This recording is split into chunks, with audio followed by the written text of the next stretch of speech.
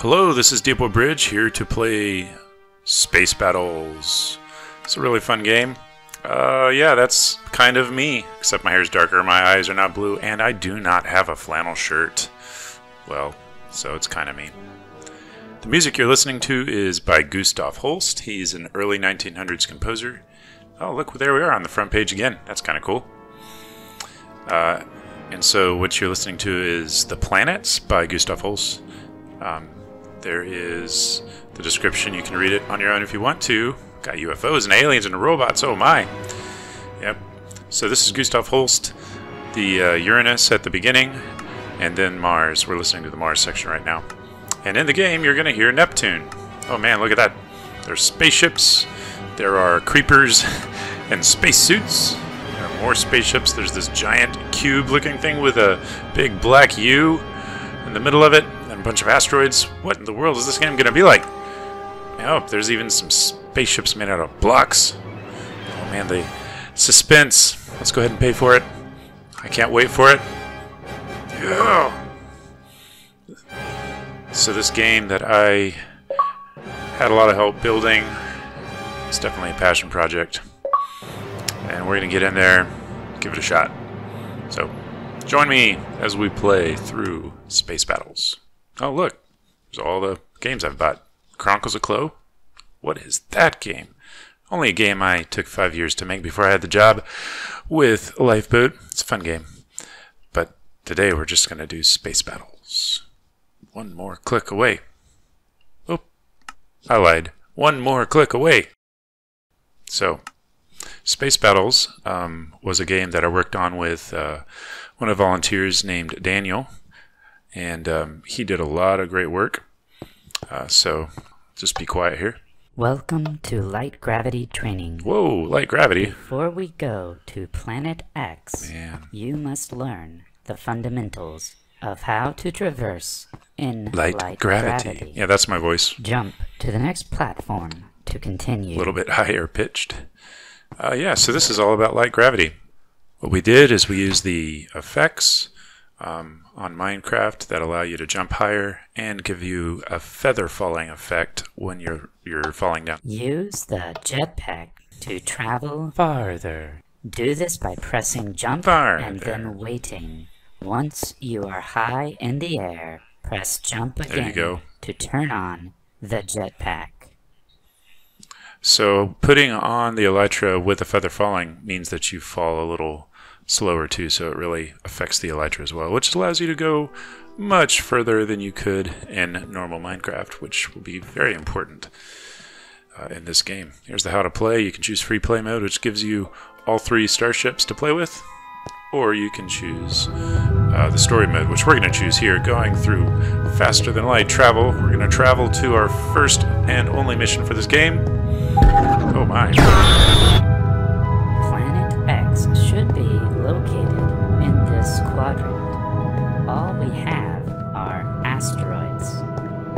That giant cube doesn't look too friendly. No, it doesn't. Giant Is it cube. a moon? Is it a moon? I've got a funny feeling about this. I don't think it's a moon. Okay, cadet. We need a starship Stack up. that works Get some laser and beams. fast. And uh, The beacons boat. tell me that the factories are still operational. Once you find one, build a starship and use it to destroy the giant cube. I think uh, we should use the elytra. I think that'll be more useful. Look at my flannel shirt. Oh, I look so spacey. Yeah, get one of those pickaxes. This will be important. Okay, so it looks like what we have to do is build a spaceship, a starship. There are three factories, the Alpha Factory, the Beta Factory, and one more, uh, the Gamma, I think. Uh, so here you can see the light gravity practice at the beginning is very helpful uh, in helping us travel amidst these asteroids so that we can gather enough minerals. Here I am going to use my elytra to fly further. Oh my.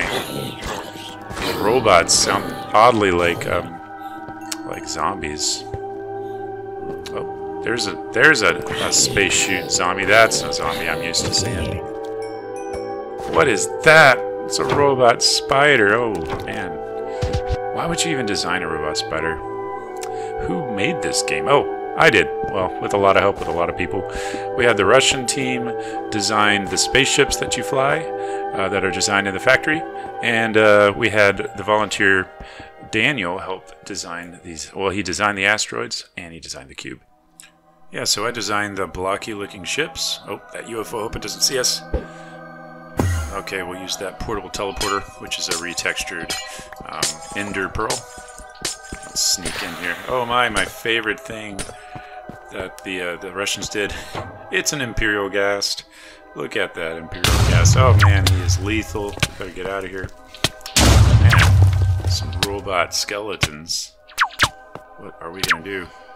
Yeah, so the texture pack that we are using is from an earlier map called Escape from Planet X. Came out about oh, about a year ago. So I took the texture pack from there and I tweaked it a bit to uh, give it more of a, um, a War from Stars type feel. Especially this room. This really reminds me of that. What's that movie called? I forget. This is the path to the core of the. Oh, oh no! It's oh man. Even the the uh, creepers have spacesuits. That's how cool this game is. Uh, but I don't. I have a flannel shirt. Oh, what's this say here? These are the secret plans for the giant cube. Oh, okay. Well, I'm gonna have to steal those plans. Oh. Okay, so the game is all about getting to the factories, and these, uh, as you can tell, these beacons help you get to them. Yep, there it is off in the distance. Oh, there's that UFO. Yeah, so here's the factory, and when you gather enough minerals, you can build a starship. Well, sneaking up on that. Nice. Taking it out. Love the sound effects too. Okay, so looks like diamond ore 5, emerald 8, and gold 8. So let's put all those in there and see what happens. See if this factory thing even works. Assembly complete. There it is. There is our starship. Oh my gosh. Once you get in the starship, the game really changes. It just has this feel of uh, that you have a lot more control and that you're a lot less vulnerable to um, all the things out there. Watch this. If you push F1, if you're playing on computer, you can shoot. Looks like you're shooting lasers from the spaceship, but it's really from my trusty bow, which shoots lasers for some reason. Because why not? Yeah, so those UFOs are no match for my bow. They can't even hit me. Whoa. Okay, they can almost hit me. but we get to shoot lasers at them in a ship, and the ship moves really nice and smooth. Very maneuverable. Easily take out those UFOs and anything else that comes our way. So it's time to take on the giant cube. Let's see uh, what's inside there. Oh my goodness. But you know what? I don't think I'll show you everything in this game. You'll have to play it to find out. Ah! Okay, we're not that invulnerable. Oh well. So we're just going to cut here.